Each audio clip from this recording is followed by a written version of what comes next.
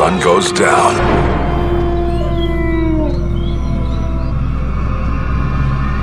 In this small Nebraska town, a secret government project has gotten out of control. And a deadly virus has been unleashed into the city's hottest nightclub.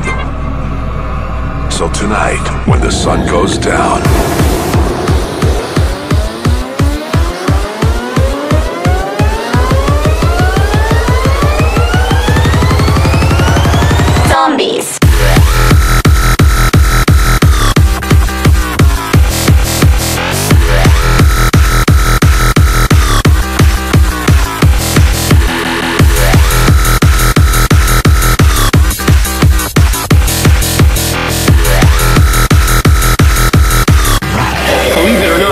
zombies.